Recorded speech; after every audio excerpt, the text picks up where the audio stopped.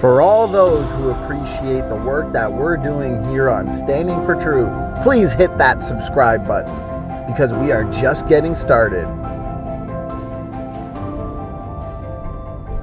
Hey everybody, this is Standing for Truth, and the video that you are about to watch is the next video in our series titled The Best of.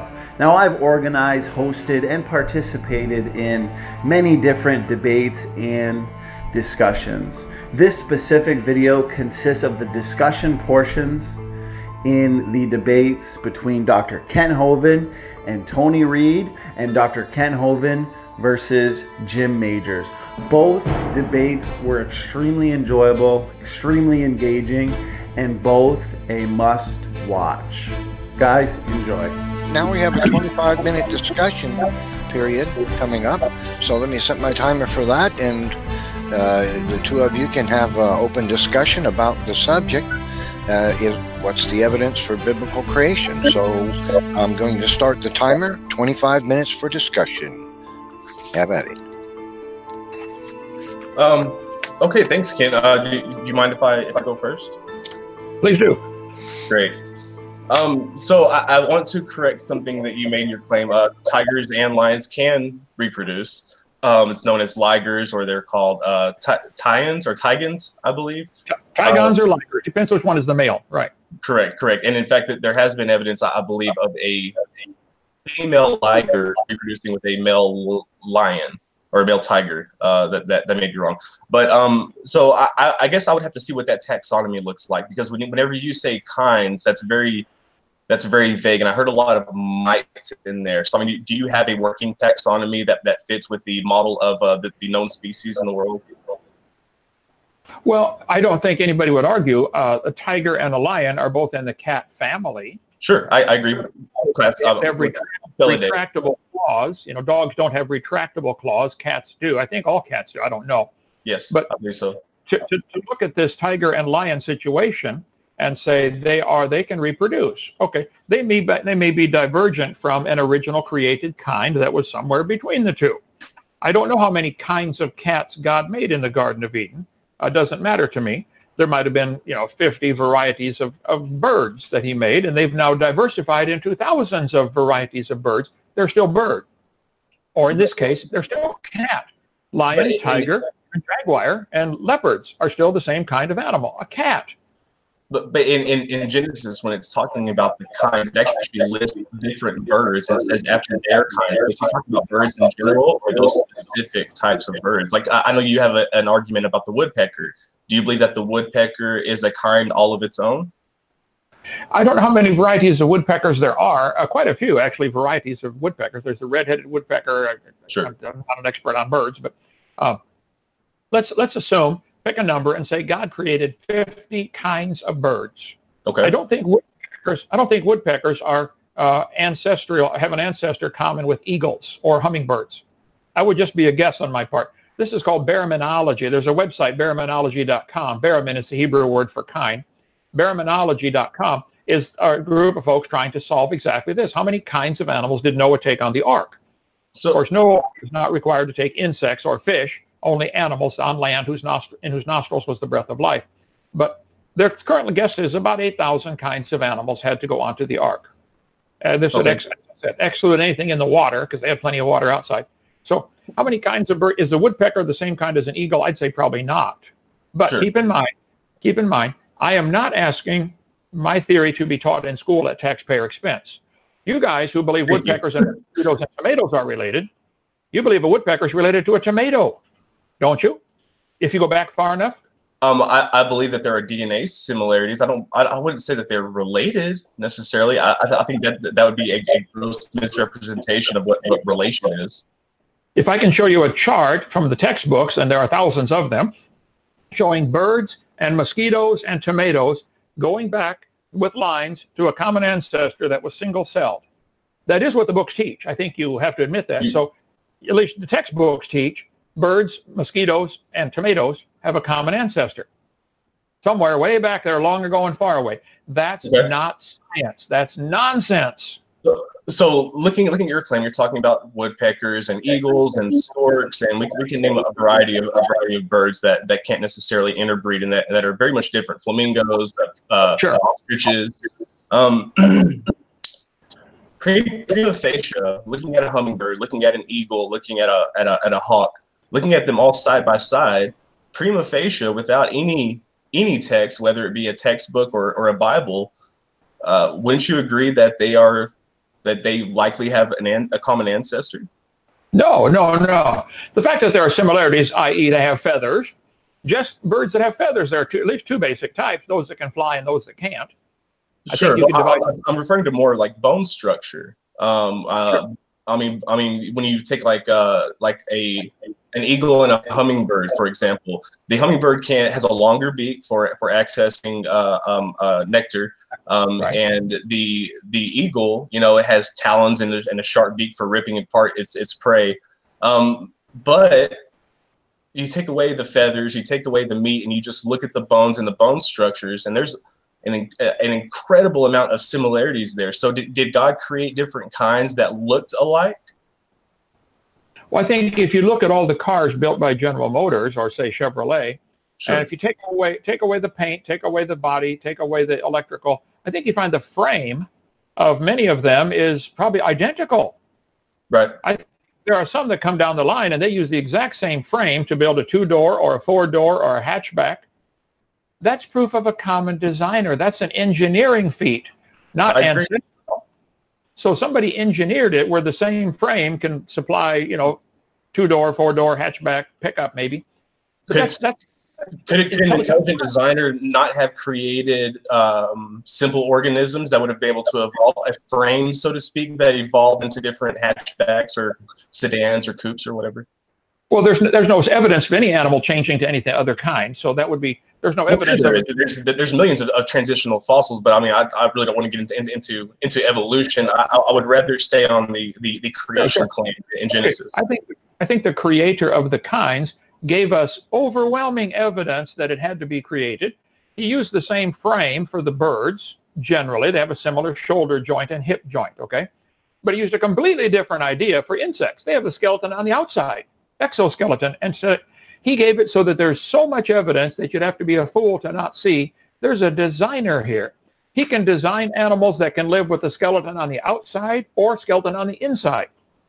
Are there cars that have the frame on the outside like a unibody? Well, yeah, actually there are. But again, sure. that's a design an uh, engineering feat, not ancestral. Well, it, it's, so I, it, I'll, I'll, agree with you that it's a design feat in that it, it, suits a purpose. Like, for example, a roll cage in, in NASCAR it has a purpose. It's not in, it's not in every car, but it's in NASCAR because if the car flips, you want to protect the driver. And right. I mean, all I'm seeing in exoskeletons and, and things of, of that nature, things used for both defense and offense, are just attributes that are attained through the pressures of their environment that they change and adapt to. So you think the exoskeleton came as a result of pressures from the environment? In other words, the, the insect developed this to prevent himself from being eaten uh, defense. I, am saying I'm not saying that, that that's why it prevented it, but I'm saying that the ones who did who did uh, produce it, who did have an exoskeleton, that they were the ones who were more suitable to survive within their environment. And you realize, of course, what you're stating is not based on evidence; it's based on a theoretical uh, belief uh, that there's no, no, no nobody's ever seen any animal start to gradually produce an exoskeleton. Well, sure, and, and we we've never seen a star born uh, we've never seen a star's life cycle, but we have looked at multiple stars and we have seen multiple stages and multiple stages of growth and death within stars that we have been able to uh, to make an amalgamation uh, and a better understanding of the life cycle of the star, even though we haven't observed the full life cycle of a star with the human eye. Well, you're starting with your uh, religious belief that stars do indeed go through a cycle and are born and die. I think I, I, that's not a religious belief, Kent. Um, I think it is. Okay. Suppose I had a belief that cars came from uh, slowly evolved. I could show you evidence that there are one-wheeled vehicles out there called unicycles. I could show you evidence that there are two-wheeled vehicles, bicycles, motorcycles.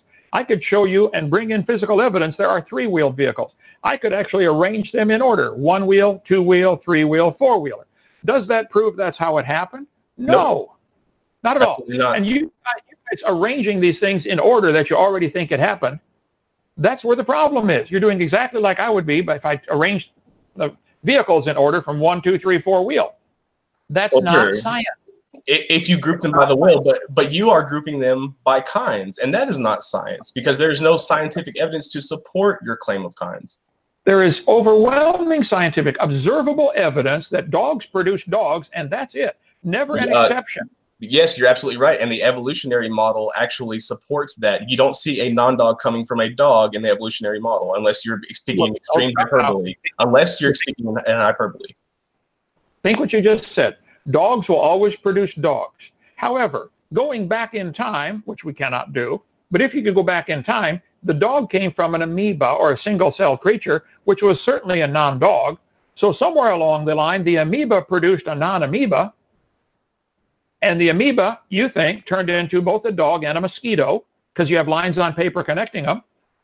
Then somewhere, even though today mosquitoes only produce mosquitoes and dogs only produce dogs, you in your imagination think dogs and mosquitoes are related, so it had to come from something that was non-amoeba or Right. bacteria. So, So- why could it, it, it could happen in the past, but it can't happen today. So we Okay, can't observe it, or it's not science.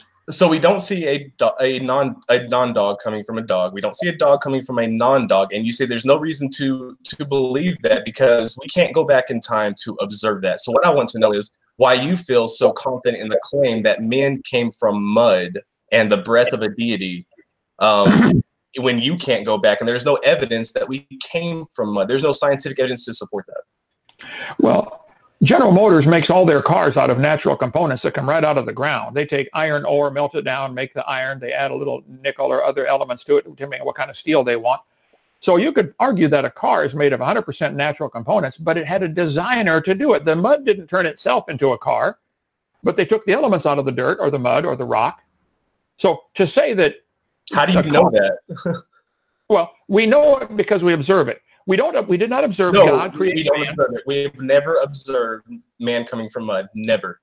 No, we do observe cars coming from natural components. We can observe them digging out the iron ore, melting it down, making the iron, forging it into shape. Every step of a car production can be observed. We do Sure. not observe God making man from the mud. I agree. That's why it's a belief. You do not observe a mosquito and a dog coming from a common ancestor. That's why it's a belief. But it's taught in the textbooks, and we're all paying for that religion to be taught. This one says animals, fungi, and plants have a common ancestor. But That's not science. That's but why you guys- automobiles do not reproduce that. that. That- That's you're. I mean, that's that, that that's a fallacy, I believe. I mean, because we're not talking about something that can reproduce. We're talking about something that does have a designer, but it's designed to suit a purpose. It's designed to suit a need to to fill a slot, so to speak. Um, and your creation account is nothing more than that. It is a creation, a uh, a a design to fill a spot, and that spot is um, solidifying the identity of ancient Israelites, of, of ancient Canaanites, of ancient Babylonians, depending on which which creation myth that you want to read. Well, sure, you can believe that. This is straight from one of the textbooks used today. It says animals, fungi, and plants have a common ancestor. Do you believe fungus and elephants and uh, tomatoes are related, have a common ancestor? This what the, that's what we're all paying for this to go in the textbooks. So uh, when when you say believe, um, do I just believe that? No, but do I accept that other people have done the research and do I accept the evidence? Then then yes, I do, and I, I I would like to add that I find it much more plausible than to say that God did it um, and He created us from from mud and that plants lived for an entire day in sub-zero temperatures without a sun. Well, that you brought up several topics that need to be uh, addressed there, but you, you keep you guys keep wanting to use the word accept. You accept evolution. You have Sure. to believe evolution. You guys keep trying to sneak that in. You have to accept truth. You do not Sure. have to, but you have to believe that You can believe it. mosquitoes are related. This Right. textbook. You, you can believe it, but there's evidence for that belief. There's justification to believe that. Okay, I think there's evidence to prove dogs always produce dogs and cows always produce cows. That's where the evidence lies. Do you Now, believe there's evidence that man was created from mud? No, I can't. I could. I think we're made out of natural elements. I think you could find all the elements for man's body in the mud. So you're interpreting that part allegorically because it doesn't suit your narrative. I'm saying there is a narrative. There's a book that says God did it. I don't know of a better answer, but Sure. I'm not and, and you're interpreting part of it literally and part of it allegorically to fix whatever gaps you have in your understanding. well, no, you guys are one of the ones with all the gaps in the understanding. We observe cows produce cows, dogs produce dogs. That's okay. It's okay to have gaps, Kent. Well, then call it. Then stop saying you accept it. Admit you believe it. It's a belief. It's a Sure, religion okay, yeah, on your part. Okay, Okay. I believe it, but I have justification for my belief. I have justification for my belief. Nobody's ever seen a cow produce a non-cow. Therefore, somebody must have made the original cow. You do have justification for your own belief, for your belief, but your belief itself does not have justification to be believed by anybody who would, uh, other than people who would just accept it on faith. Well, I think you need to look in the mirror. Uh, you're, you're, uh, uh, Jim, you're the one who has a, a religious a belief that is not based on any scientific evidence. This textbook shows all the bats in the world are related to the horses and are related to the mice. They put them all together to draw. What they draw lines on paper is all they do. On the outside No, of the that's not what they do, Kent. No, the, the, the current working evolutionary model has been used for many things from developing antibiotics to discovering how bacteria works. The, the current evolutionary model works every day in laboratories, and we, we make new discoveries because we operate under the assumption that we evolve. Well, the same laboratories could use the assumption that, wow, a designer made these creatures out of the same 92 elements out of the ground. Maybe there are uh, antibiotics that can be used because they have a common ancestor, common designer. And I think we'd be wasting our time because scientists would be trying to figure out what kind of mud God used and what was what what his breath contained, what the atmospheric uh, contents of his breath were, and that's that's absurd because there's no need to go to that when there's already a working model. Now, if you want to debunk the working model and you want to show inconsistencies, then I would encourage you to accept your Nobel Prize. Well, I think if you went to North Korea, you would not find any opposition to the idea of communism. Sure. I think any, Well, anybody no, who opposes actually, I, I disagree. If you go into the individual homes that are being oppressed, I'm sure that there would be some uh, Sure. uh, if anyone dares to speak out against communism, they end up, you know, executed or down the bottom of the Pacific Ocean someplace. right Uh, excommunicated for heresy, so to speak. I think we have a very similar, not quite as severe, but same, same thing with those who oppose evolution in the academic circles. It wasn't this way 200 years ago, but it has, evolution religion has slowly taken over our school system where now if you dare to oppose it, you don't get published, you don't get promoted, you actually get fired. Watch the movie Expelled to see those who say, look, I don't think evolution works. They'll get fired from their job. Sure, because we're talking about the separation of church and state. People who who make these assumptions under theological pre presuppositions do not need to be teaching in the public school system. They do not need, need to be funded by our government, which clearly states that there needs to be a separation between theology and, uh, and government. Thank you. I would point out those who believe mosquitoes and tomatoes are related, regardless of how much time you want to give them, should not be allowed to teach that to children. I, I don't believe do. that people should be allowed to teach anything that cannot be demonstrated. I don't believe people should be uh, allowed to teach anything that there's not evidence to believe that, such as God created man and then later created woman from from his side. Uh, I, I think it's uh, uh, totally totally absurd. And again, there's no evidence that that women were made um, from from man. Uh, I mean, we, we can go into the the different creation accounts. We can go into authorship and everything like that. I don't think it's necessary, but I I, I do encourage you to read the the the difference in in accounts uh, as far as to when God made woman uh, between the uh, the account in Genesis one and the account in Genesis two. Yeah, I could not prove scientifically that woman was made from a rib from man. I think we could show that there are obvious uh, structural Okay. similarities and digestive tract is about identical. And there are thousands of. Thousands of identical systems between men and women. Uh, praise God for the differences too. But there are obviously some some similarities. Again, I would say that may be an indication of a common designer, just like the Ford, uh, just like the two door and the four door and the hatchback have same frame, same electrical system, same paint job. It doesn't prove Wait, common you ancestors, common You said you, you, you just- you just said that you had evidence that women was created from a rib. Can can you can I, you, I, you I cannot prove that. I can't prove that scientifically. That's what the text says. Oh, but by the way, you can't disprove that either. Well, I mean, I can't disprove. I I can't disprove that that women wasn't made by um, scrunching up some silk and wrapping it in duct tape. Um, That's not what the text either. The text says the woman was made from man's rib. The Sure. purpose of this debate Well, is is, the, taken is there from his evidence of the biblical creation? Do you have any evidence to counter that? Forget the duct tape. The Bible says Eve was made from a rib. By the way, there's only one bone in the human body that'll grow back if you take it out, and Yeah. that's your rib. Well, you, uh, I would like to, to clarify to point How out that that, that, that you said that there is no evidence that women a woman was created from a rib. So I will. I'm sure you've heard this saying that which can be asserted without evidence can be dismissed without evidence. So there's no reason for me to try to disprove it because you haven't in any way proved that women came from a rib. Okay, that which is, has no evidence can be dismissed. There is no evidence a dog came from anything other than a dog. Not going yes, forward. Yes, there is. Produce dogs in the future. you think in the past a dog came from a non-dog. There's no evidence of a dog ever coming from a non-dog. We can dismiss the whole evolution theory. There is no evidence of any dog coming from a non-dog in the past. There's no, no evidence of the 6,000-year-old Earth Kent. That's what you're changing topics now. You're diverting. Okay. No, no. Red. I'm, I'm, talking about claims versus evidence for the claims, and I, I would argue that I have much more evidence now. While it's not complete, while it is yes, it is a theory, but it is a working theory. There is truth within the theory. If if if anything in there con- conflicts with with what we know to be true, then it's thrown out. It's no longer considered a, a theory. Can't like like gravity. Well, then throw it out because we've only seen dogs produce dogs, and you think dogs and mosquitoes have a common ancestor. Throw that theory out, son. That's not science. Yeah, there there is ge- there is genetical information. There's genetical data that ties us all together. Do you do not do you deny that? We don't. Well, that, again, that could be a common design. I think the Fords and the Chevys are both made out of steel. Comes on from the same dirt. Doesn't and, prove they're yes, and they're and they're also not living beings. So I think that's a that's a that's a false uh, um, false representation. Well, you're giving a false representation, saying, "Wow, look, we don't see dogs always produce dogs in the future, but in the past, you think it was different." That's not science. That's a religion. You believe dogs came from something a single cell. You believe that single cell creature produced something that was turned ultimately turned into a dog. This is a religious belief, Jim. This is not science. And I wish you guys would. And what do you believe? What do you believe? Where where do you believe the animals came from? Where do you believe man came from?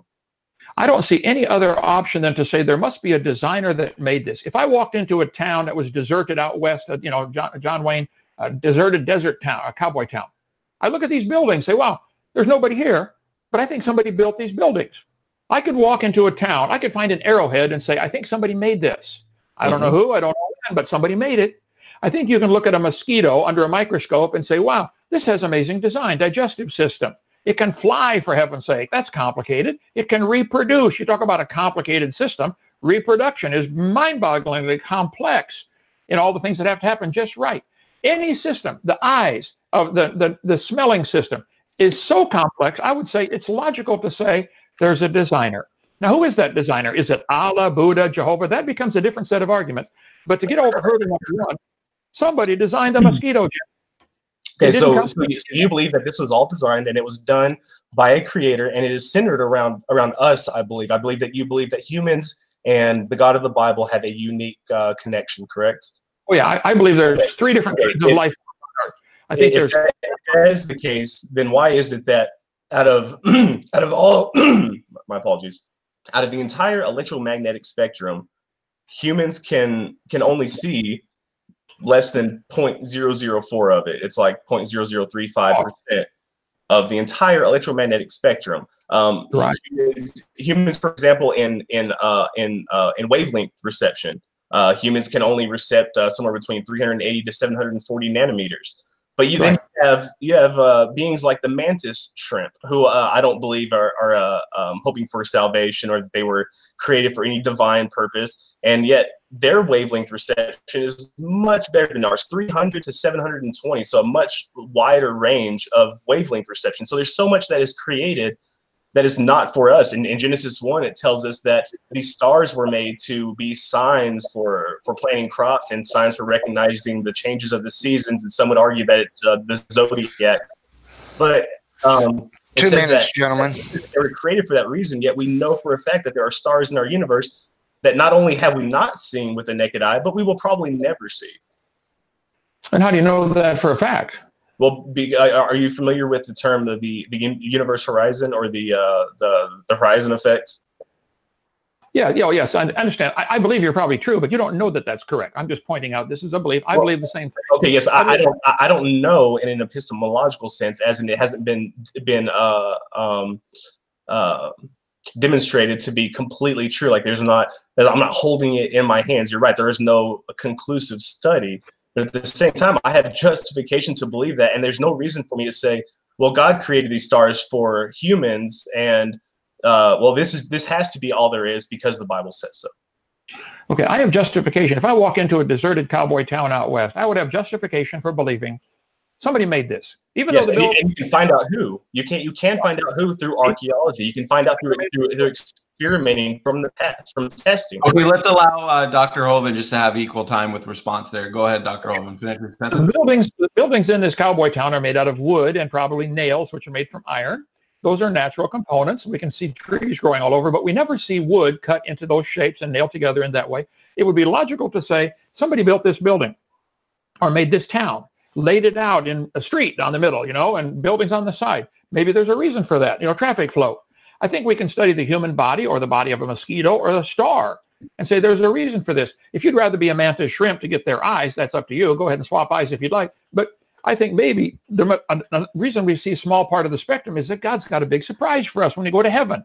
Hey guys, new eyes, you can see the whole thing. You can now see the sounds. Whoa, that'll be cool. I don't know, but I, am looking forward to going there. I'd, I would like you to come too, Jim. Would you like to come? I mean, yeah. I mean, it, it, it would be cool, Kent. I, I I do not disagree with you. It would be cool to go to an afterlife where I don't hurt anymore, where my senses are enhanced, where uh, where I didn't have to worry about anything, where I could see my loved ones, I could, I could meet my family. You know, I could, uh, um, you know, experience, you know, all this this peace. Um, but That's time, gentlemen. but It's available. There's no available. evidence to, You to can have it. suggest that that is true. I'd like to address some of the points he made. Give me whatever time I take. He can take the same time. Beautiful. That sounds good, Dr. Hovind. Go ahead. All right.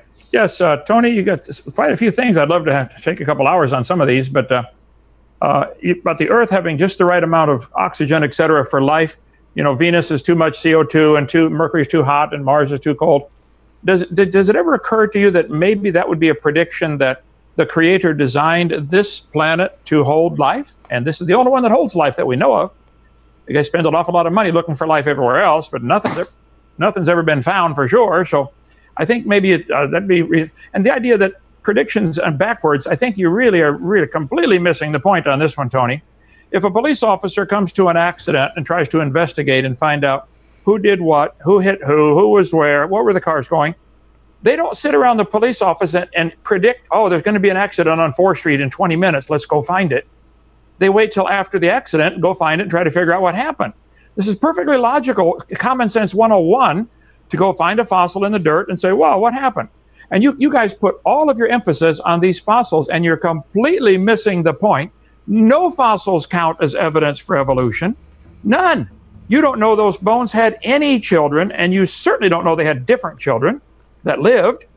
And if animal did produce a different baby that was different than itself, who would it, who would that one marry? You've got a host of problems.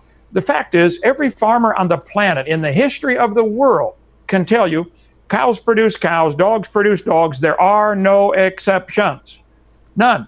Now, if you want to use a fossil as evidence, that's ludicrous. In a court of law, they'd laugh you out, saying you don't know these bones had any kids. Now, you come across something like this in California.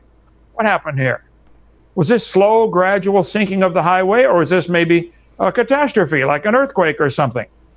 Which would have more predictive, which would have more expl- explanatory power, a catastrophe or slow, gradual uniformitarianism?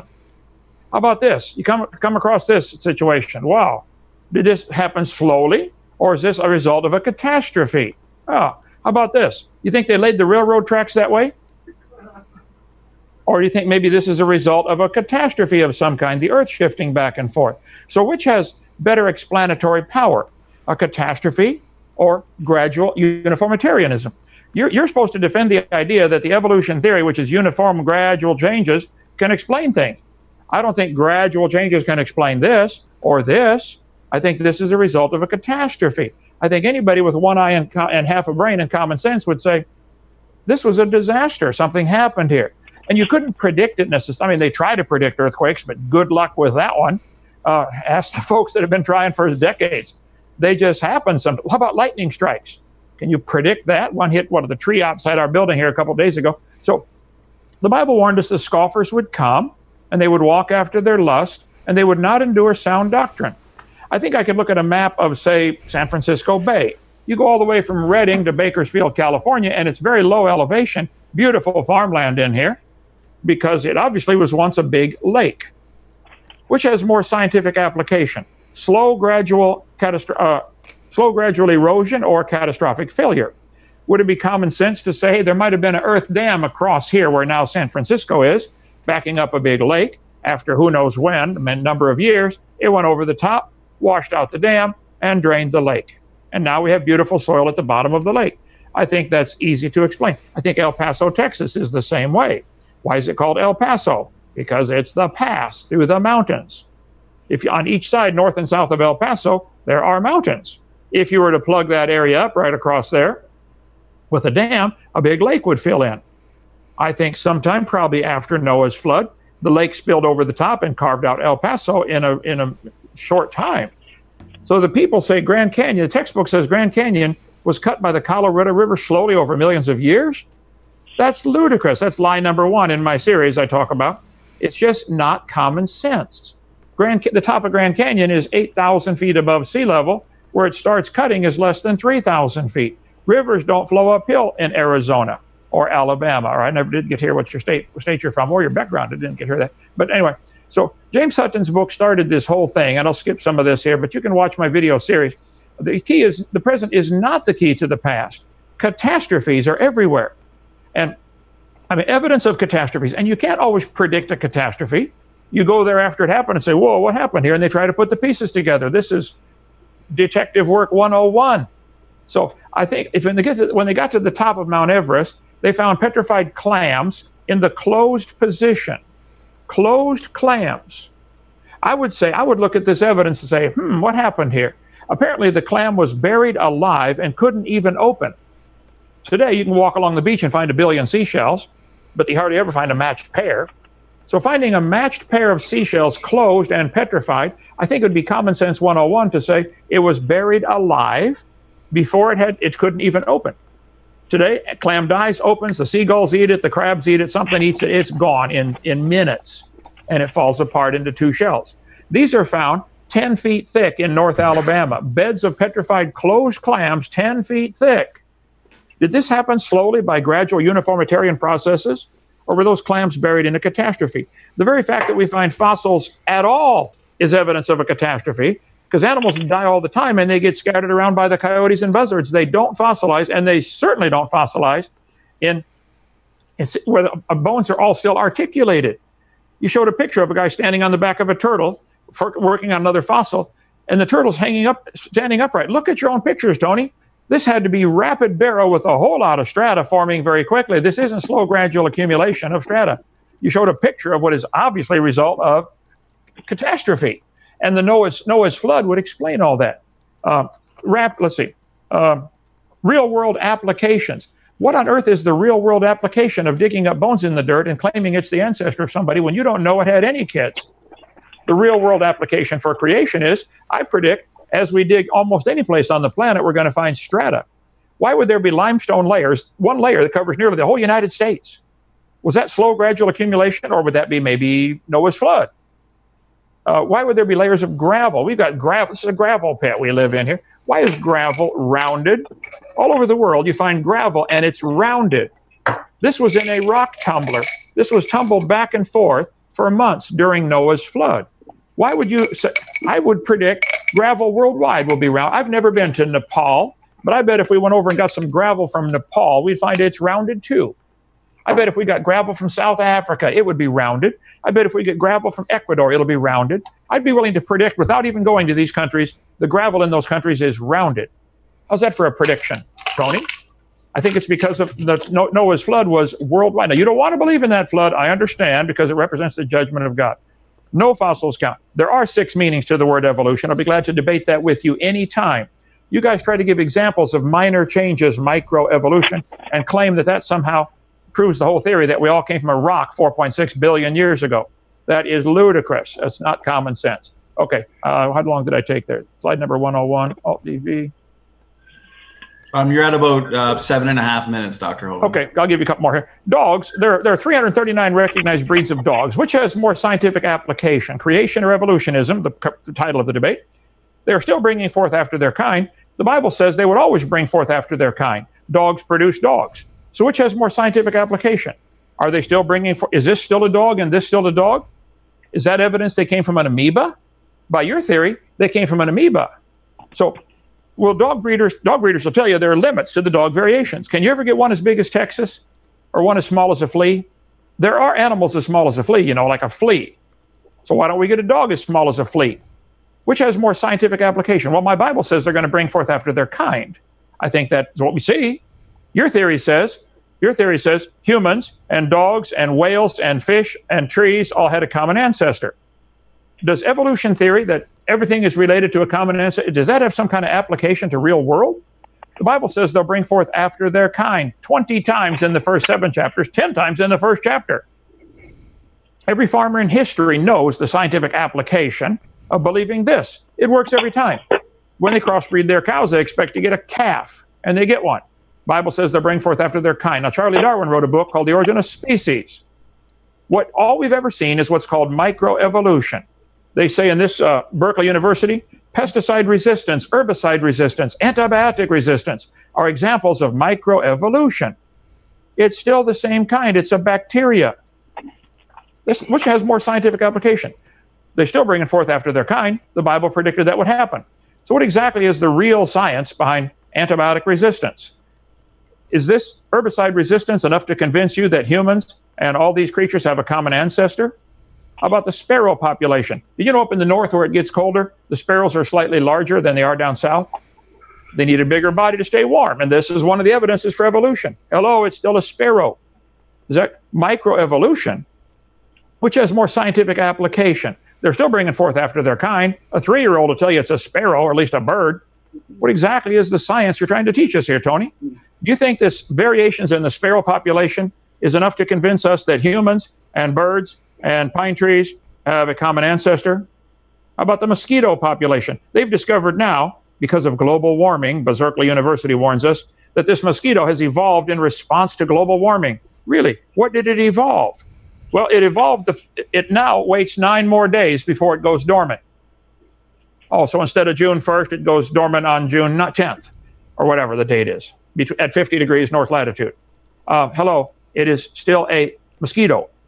They're still bringing forth after their kind a mosquito. The fact that it waits nine extra days to go to sleep, is that evidence enough to convince you that mosquitoes and sparrows and whales came from an amoeba? And you want that to be forced on everybody in the school system? Every kid has to learn that? It's still a mosquito, for heaven's sake. We see these charts in the books all the time.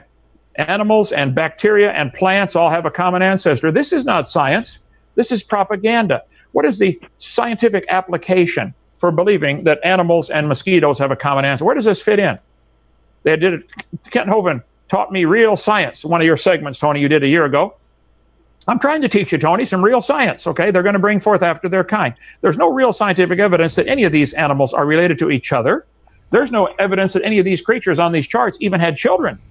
You cer- there's, there's no way to prove they had children that lived. If you want that to be your grandpa, go ahead. I don't care what you believe, but it's not science.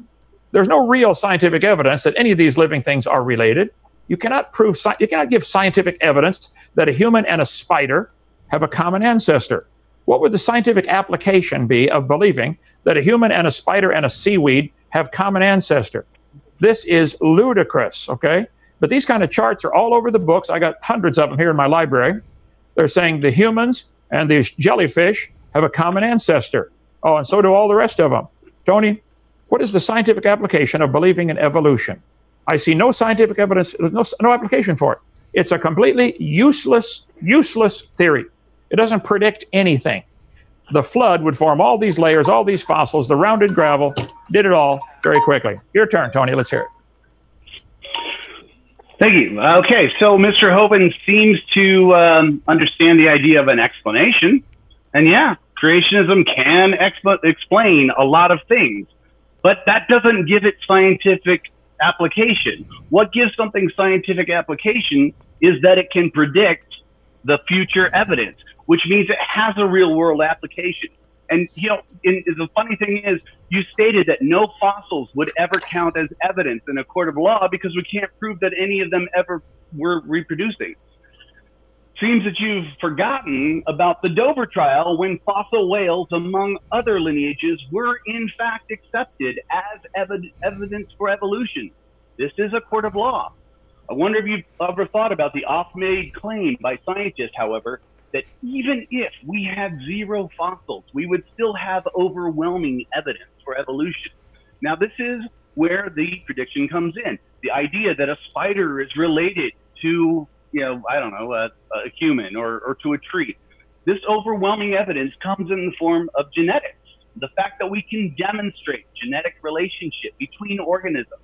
You may argue that this is not evidence of a common ancestor, but of a common designer. But once again, I'll point out that this was never predicted by creationists until after this homology was discovered. The reason we know about this homology, however, is because it came about by testing the prediction made ahead of time by the theory of common descent. And since scientific predictions are falsifiable, if we hadn't seen homology between species, common descent would have needed to be severely revised. Yet creationism would have been unaffected because it is unfalsifiable, unfalsifiable. Because if we did see no homology, you'd still be a creationist, wouldn't you? That's why creationism is scientifically useless. But let's go ahead and get back to the courts of law. This genetic test that we use to determine genetic relationship between species is the very same genetic test that we use to legally determine relationship between people. This not only continues to confirm, confirm the predictions of common descent every time we map the genome of a new species, but it also constitutes legal proof of common descent. Now, that said, you were talking about the Grand Canyon saying a river can't flow uphill, and I completely agree. That's absolutely true. As it turns out, the entire area of the Grand Canyon is continuously rising due to subcrustal forces at a rate of 0.6 millimeters per year. The Kaibab uplift at the canyon's base is also uplifting at various rates. These alternating uplifts have been responsible for the course changes in the river, river several times in the geological history. So the answer to your question is that the Colorado River never did flow uphill. The area rose around it. Now that said, uh, you you talked about uh, the Big Bang there. Now um, with this, I didn't think you'd actually bring it up, but many people have cited that the Big Bang theory is a prediction of a creation event. I don't think you say that, but they'll even go so far as to point out that Georges Lemaitre, who popularized, popularized the theory, was himself a creationist. But contrary to popular belief, this cosmological model was first formulated in 1922 by Alexander Friedmann to little attention until rediscovered in 1927 by Georges Lemaitre. The model states that at some point in the finite past, all of the matter and energy in the universe was much closer, perhaps even being condensed into a volume as small as an atom. Now, using this model in 1946, George Gamow published a paper describing how radiation could recombine and become basic atoms after a Big Bang. He theorized that in the process of recombination, microwaves would be released at a temperature of 50 Kelvin. Now, this estimate was revised several times over the following years as quantum, quantum mechanics was discovered, and I'll probably discuss that later. But in 1964, Robert H. Dicke, Jim Peebles, and David Wilkinson at Princeton University were preparing to search for microwave radi- radiation as a means of testing their own theory. And they felt that the cosmic background radiation would have been released along with matter at the Big Bang, and due to billions of years of redshift, would be at a temperature of under 5 Kelvin. It so happened that at the same time, Arno Penzias and Robert Wilson we're working at nearby Bell Labs experimenting on bouncing radio waves off of Echo Balloon satellites.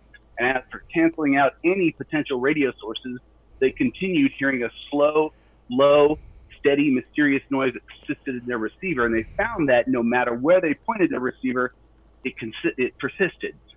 They right. discovered microwave background radiation at a temperature of 2.7 Kelvin. This confirmed the hypothesis of Dicke, Peebles, and Wilkinson. In 1978, Penzias and Wilson were jointly awarded the Nobel Prize for Physics for their discovery. Now, this list of predictions goes on. I'll be happy to address that, of course. But at any rate, uh, as far as dogs produce dogs, again, that's not even a prediction. You saw that dogs produce dogs, and you said, "Well, that that kind of keeps with with uh, with creationism." And evolution makes no other predictions about that. The, evolution does not predict that dogs would produce anything other than dogs. You have been corrected on this thousands of times. Well, sorry, 187 times. My apologies. Oh. You've been corrected on this 187 times, and yet you still say this. Why do you keep misrepresenting us? This is one of your dishonesties. I don't understand why you do that. Now, the other thing, nobody debates or contest that uh, catastrophes occur. What we what we contest is the idea that an entire worldwide catastrophe occurred. That's absolutely that's absolutely silly. We're discussing again predictive power. You have yet to show how any creationist has ever used the assumption of a creation event, let alone a flood event, to find anything that has never been discovered before. You're wondering what the real world application of evolution is. It's that we can make these predictions ahead of time and then discover them. Uh, again, with the farmers, yeah, we absolutely, they absolutely know that they can change an organ, organism over time. Now, maybe there are limits. We don't know what they are, but just to say there are limits, that's not even a, that, there's no quantification there.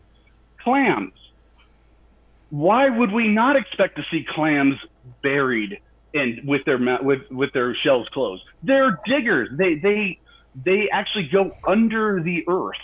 That's what they do. They dig into the earth and they keep their mouths closed most of the time. So we should expect to see that. That isn't a predict. Well, it is a prediction, but not made by evolution. But it is a prediction you can make just by looking at the real world. I wish I had the ability to show video and audio, and well, I've got audio, but pictures right now because I do in fact have gravel in my yard that is jagged. It has jagged edges. I can actually, I live out in the desert. I live near Red Rock Canyon. There is gravel there. It is not all rounded. Some of it is quite jagged. Um, nobody says that amoebas are the ancestor of any of the uh, of any mammal or of any animal. That is, I don't know why you keep saying that. You've been corrected on that as well. Now, uh, what you're asking, you're wondering why can't we breed a dog as big as Texas? How would a dog as big as Texas survive? That doesn't make sense at all. Where are you, where are you coming up with this? Now, the thing is, I don't know if my time is up. I don't know where uh, I, I, you just have this habit of going from subject to subject. People call it a gish gallop. I think it needs to be renamed the Hovind Hustle because that is pretty insane. So, at any rate, the other thing is you talked about planet Earth having the perfect amount of CO2 and oxygen. I did not say that at all. What I said was it had nothing but carbon dioxide to begin with. We can tell this because the very oldest strata we look at has no oxidation whatsoever. Only later do we see any any signs of oxidation. So if you want to tell me that those those areas where we don't see any oxidation are pre-flood, then you're going to have to explain why we see life there. Again, I don't know where we are. I don't know. I don't know how much more time we have, but um, I've, um, I've got it at so um, I've got Kent Hovind um, 12 minutes, and you've got another two and a half minutes, and that would be equal time. So you, you, you can use that up if you'd like, Tony, and then we'll jump into discussion. Um, we gish galloped so much that I don't really have. I mean, I, I had to write down furiously and bring up my uh, my evidence. Um, unfortunately, I can't I can't produce the slides, so I'll just go ahead and move on to the next um, the next issue. Okay, well, thanks for that rebuttal there, uh, Tony. Um, with a couple minutes left, we can just throw that into the discussion. Therefore, uh, whichever one of the debaters would like to start, I've got it. I've got the clock set here. We'll make sure there's no interruptions and it's a, a smooth, free-flowing dialogue. Go ahead. Oh well, thank you, uh, Tony. You, you you mentioned I've been corrected on things quite a few times. Claiming that I'm wrong does not mean I've been corrected. I would say you've been you've been corrected tonight. There's no evidence of any animal producing another animal ever. And your charts I showed right from the textbooks, they do teach we all came from an amoeba. Why would you say I've been corrected on that? I'm not been corrected. I was right. What do you mean corrected? Uh, about the oxygen, let's stick with this, just this one. They've always known the Earth has always had oxygen. Back in 1966, they said, What's the evidence for a primitive methane ammonia atmosphere? None. There's no evidence for it. This is National Academy of Sciences. How about 1976, 10 years later? There's no evidence in the sedimentary distribution of carbon, sulfur, iron, uranium of an oxygen free atmosphere. Well, how about 1982? It was suggested from the time of the earliest dated rocks, Earth had an oxygen atmosphere. Whoa, 1992. The only trend in recent literature is far more oxygen than early claimed, okay? How about the year 2002? Earth may have had an oxygen rich atmosphere as long as 3 billion years and possibly even earlier from Scientific and Industrial Research Organization, the Commonwealth. Okay, so uh, you're simply mistaken. Here's 19, 19 uh, 2018. Today, the atmosphere is 80% nitrogen, 20% oxygen. In the early Earth, there was very little oxygen. 3.5 billion years ago, there was only 0.001%. This is pure propaganda. They're making this up. The Earth has always had oxygen, and I know it creates a giant problem for you guys who would like life to evolve in an oxygen free environment. I cover that very thoroughly on my video number four. So you're simply not up to date on the literature, Tony. There is no proof that the Earth was ever without oxygen. It's not true. You need to do some more reading. I'll, I'll send you my seminar series free if you'll watch it. Go ahead. Uh, well, first of all, Kent, I've actually watched every one of your episodes of oh, your seminar. Yay. I've watched every one of them more than once. Um, number one, um, I'm challenging you to show any scientific paper that has ever said animals have ever come from an amoeba. They never have ever claimed that. I challenge you to show anybody that. Now, as far as your uh, your statement about oxygen, because you had to go to another subject, not just one, but because you do usually say one subject at a time. Here's the second subject. Oxygen. You should look at your own references. This is the problem that I, this is something I've learned from you. And in that one video you cited, I actually point out that you will cite your own references, and then the average person will not bother to look them up. I have looked up those references. Almost every one of them, the you're citing the abstract where they state that yes, it is assumed that blah blah blah happened, or that it is assumed that there was oxygen in the in the early Earth, and then the paper itself goes on to challenge that. The other thing is, one of your papers said that there could have been oxygen on Earth as early as 3 billion years ago. That's not the beginning of the Earth. The Earth is proposed to be 4.5 billion years. It's actually, uh, if you even paid attention to what I said, I actually stated that the Arche- the middle Archean is when we first see oxygen oxygenation or any kind of oxidation in the strata, which is 3.5 billion years ago. So even then, that is the earliest we see oxygen in the in the in the geological column. I know you got your own statements about the geological column, but either way, this is. I'm, it's not that I was saying that you're uh, you're being corrected and that you're saying something that's true or untrue. You're saying what evolutionists, if I may use the term, are claiming. We so that is where you're misrepresenting. You misrepresent what we are saying as opposed to misrepresenting perhaps science itself, you are misrepresenting what other people say. Now, again, you still have yet to show a single prediction or any real world application of creationism. All you've shown is how we can look at something and say, oh, that happens to totally be conveniently uh, supported by a creationist view you, oftentimes you're talking about things that were predicted ahead of time by evolution. That is uh, all I have to say about that. Okay, Tony, I will make a prediction right here in front of the whole world. I predict that one day you will die and stand before God and be judged. That's what the Bible says is going to happen to all of us. I predict if you don't have Jesus Christ as your Savior, you're going to go to hell. I'll make that prediction right here, right now. I don't want that for you, Tony. But you said that I'm saying it's wrong. This is the charts right out of the books. Humans, pine trees, whales, everybody came from a protista, a single celled organism. That's what they're showing. I'm not making this up. I'm using the charts right out of the book. How about this one? All the animals, humans, everything, everything goes back to a single celled organism. What am I missing here? I didn't make this stuff up. Here is a, let's see, 2015 biology textbook used in Texas with a chart showing everything going back to a common ant. Does it have protista? I didn't have time to read it. It's on the left. On the left? Really, really small. Yeah, I don't have time to find it and read it here, but I'll scan it in and show it to you. The books do teach this, Tony. They do teach we came from a single celled organism. And if you wish to believe that, that's fine. I don't care what you believe. I do resent that being taught as science because it is not science to say we can show that humans and whales and dinosaurs and flowers came from a single celled protista or an amoeba, whichever one you want to use, a single celled creature. Don't, don't accuse me of lying and misrepresenting things. I'm not misrepresenting the evolutionist position. I'm accurately showing it, and that's what bothers you because it looks really stupid when it's shown on paper and somebody points it out. Go for it. Your turn. Okay, first of all, your prediction that I'll die, again, that's really convenient to predict that after you've watched every person that's ever lived die. That's not a prediction. That's pretty much what we see every day. And you didn't get that from the Bible, you got that from watching people die. Second of all, here's the problem. You're saying you're, you're quoting single-celled animal and you're quoting protista. An amoeba is. Wait, wait, Tony, you left out the last half of my prediction. I predicted you're going to die and stand before God. I've never seen that. Okay, I predict this. I predict it's going to happen.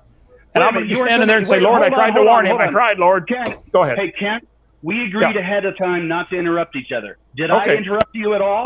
I let No, you but you, you left out part of my prediction. That's all. Go ahead. Go ahead. That's Take all the time you want. that. I'll get to that. Now, the second part is amoebas. Amoebas are not protistas. Thank you very much. And by the way, human beings are not protistas. They are not related. Okay, so um, yeah, th- do they do they say we came from a from a single celled animal? Yeah. Do you want me to go over the cladistics of it? Because in fact, the whole idea of cladistics came about by a creationist by the name of Carolus Linnaeus. You know who he was. He was a creationist. He attempted to find the biblical kind.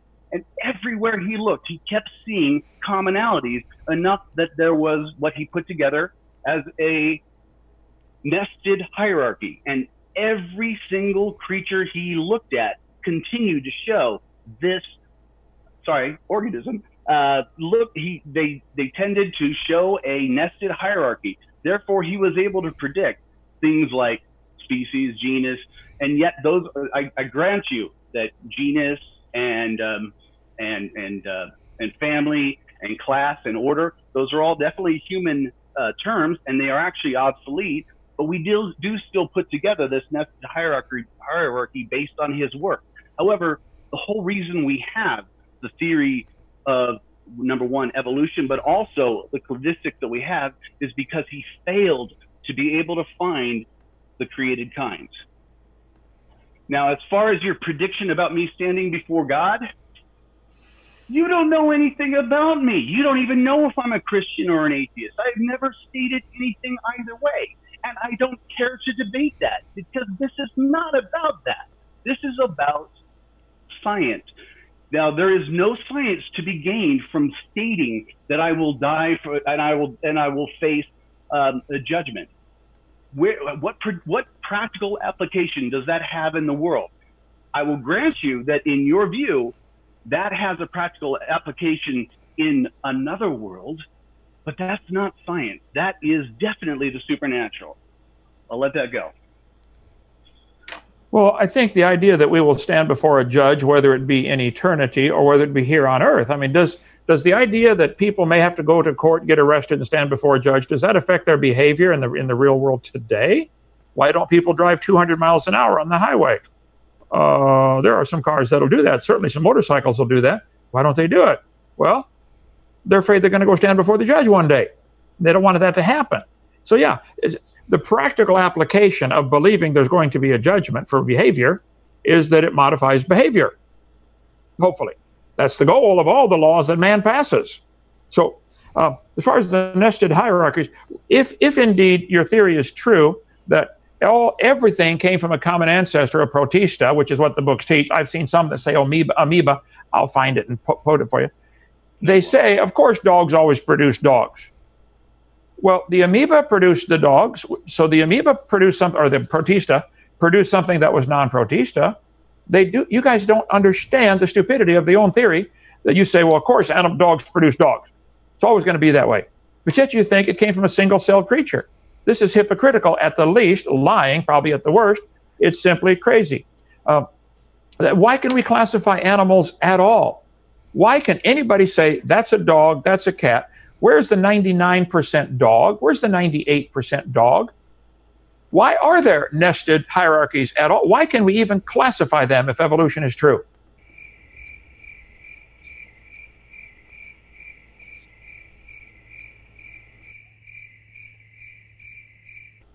Are you, are you done? Sure, go ahead. Okay. All right. So as far as I'll go ahead and go around this. I mean, again, it's uh, like we said, falsifiability. Essentially, if a prediction wrong, it'll pr- prove the theory wrong. In other words, if we don't see phenomenon C when we conduct experiment or observation B, then we know theory A is wrong. This is what's called the null hypothesis.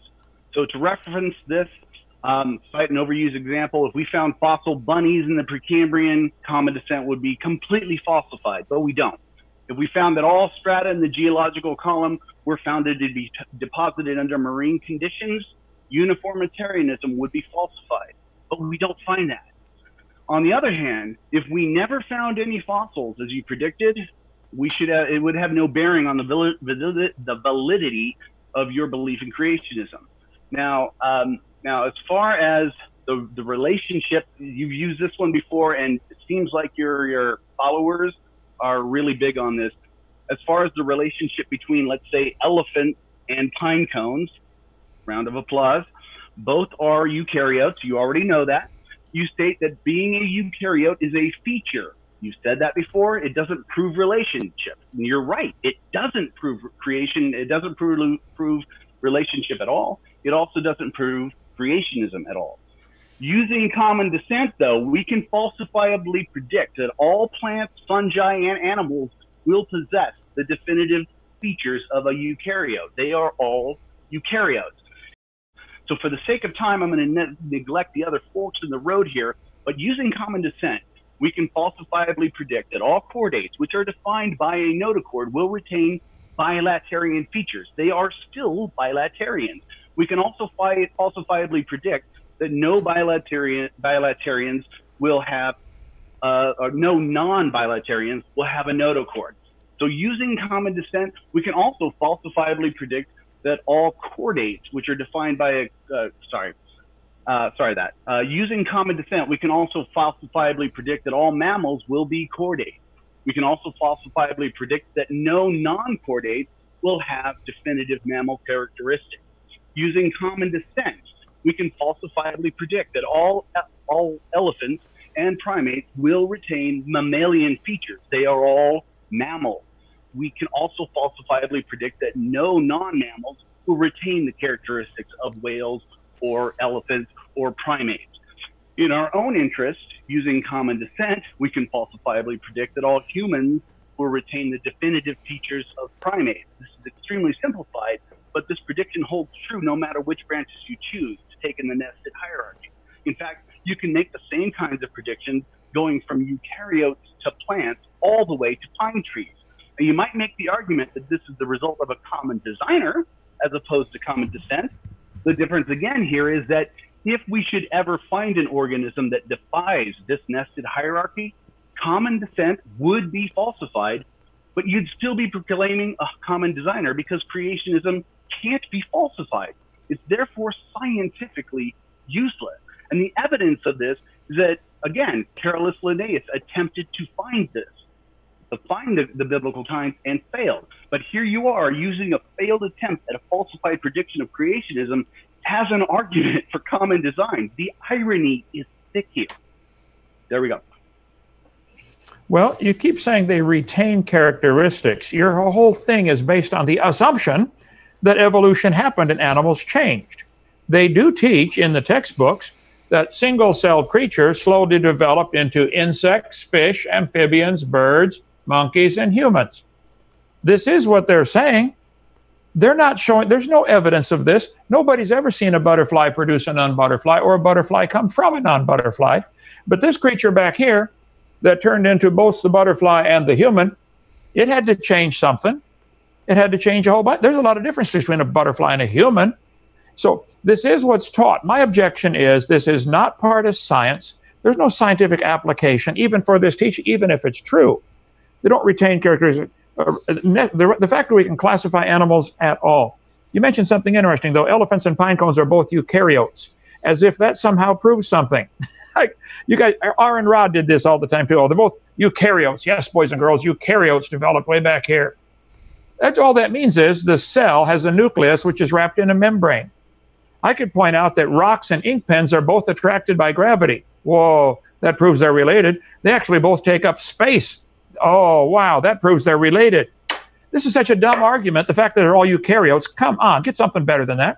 The fact that they all have cells which have a nucleus which is wrapped in a membrane does not prove a common ancestor. It's a common building block. I bet all the bicycles and cars and trucks in the world have iron in them. That proves they all came from an explosion in a metal factory. That's the kind of logic you guys use, and you don't see it. The Bible said the scoffers would come in the last days and they'd be willingly ignorant of the creation. Tony, you don't want there to be a creator, is my prediction. When I really get to find out about you, you're going to say, I don't want, especially the God of the Bible, to be my creator. I don't want to do what he says. That's my prediction. I don't know anything about your lifestyle, but I'd be willing to bet there's a couple things in it that would violate the commandments given in that book. And that's why you hate that book so much. Your turn, Tony. Okay, well, I'll go ahead and go back to exactly what I said at the beginning of this debate. Nobody is saying that any theory can ever be proven. A theory does never graduate to the point of fact. Now, what we, once again, you can make an explanation. I can explain that a pink donkey came in and spat this world into existence. Doesn't mean it's true, but it definitely can explain things. What evolution does, what uniformitarianism does, what the Big Bang Theory does, what abiogenesis does, is actually predict the evidence that we find before we find it. That's what makes it scientific. Now, I'll, like I said, even from the beginning, I'll even grant you that none of this happened. But using the assumption, and I'll with you, it is an assumption because that's how a theory is tested. You assume a theory is true, and then say, if we assume this is true, we should see this. It doesn't mean that the theory is true. It just means this theory has predictive value. You have yet to show a single prediction that has ever been confirmed by testing any theory or hypothesis that was that was derived from the assumption of a creation creation event 6,000 years ago. And I'll just keep saying that again because that's what I'm sure you will. I'm sure you'll keep saying it until Judgment Day. That's fine. Um, Hold on one, one second, just proven. to make sure. Forgive me. I hate to just to be sure that Tony, were you done with your point? What's that? Well, just to be sure oh, that you were done yeah, with your point. Okay, yeah, gotcha. I'm, I'm, done with my okay. point. Uh, so, Tony, if neither theory can be proven, which is what you clearly said a moment ago, then why do all of us have to pay for yours to be taught in the schools? I think a whole lot of people are sick of that. Why don't you people who believe you came from a rock 4.6 billion years ago, why don't you go start a private school and teach it without using all taxpayer money? And it's real estate taxes that pay for schools, by the way. Somebody's going to jump on the tax issue and say, Hovind and taxes. Mine was income tax, not real estate tax. And I didn't break the law then. See Kent Hovind is innocent.com, video number three. But that's a different story. Real estate taxes pay for the schools. All of us are forced to pay for this one religion. This is in the textbooks. I've got hundreds of them here. I can show you. My objection is I don't care if you believe this stuff. I care that you force everybody to pay to have your religion taught. That's the point. Evolution has no predictive power. The fact that you can find fossils in the ground could easily be just as easily be explained by a flood. A policeman going to an accident one guy might have a theory that this car was going this way, and they might have different theories of what happened, and, and they might work on those uh, those theories to try to develop the uh, re- reenact the crime or reenact the accident. Sure, we see fossils in the ground. We see layers of strata on top of each other. You guys are teaching the top layer is younger than the bottom layer. Oh, really? Where did it come from? Outer space? I think all these layers are the same age. They're all just, they're, even if it's billions of years, they're all the same age. They just got reshuffled. So the idea that one layer can be younger than another is ludicrous on its face. And finding fossils in certain areas, of course, animals are sorted based upon their body density, based upon their habitat, based upon their mobility, based upon their intelligence. Clams are found at the bottom because, as far as we know, they're not too bright. And they're heavy, they got heavy shells. So I think I could predict the order of fossils based upon a flood. I'd be willing to predict the slower animals would be buried lower or those that with more body density. Look at body density of reptile compared to body density of mammal or bird. I'd be willing to predict birds are found on top of strata generally because birds are the last ones to drown in a flood. And when they drown, they have hollow bones, hollow feathers, they float. That'd be a prediction based on the flood model. So anyway, we are supposed to take Q&A from the audience. Uh, we've gone a long time here, brother, almost two hours. Um, but let's do another one, Tony, anytime. Uh, take you on, do another debate. Get your, get your stuff together, okay?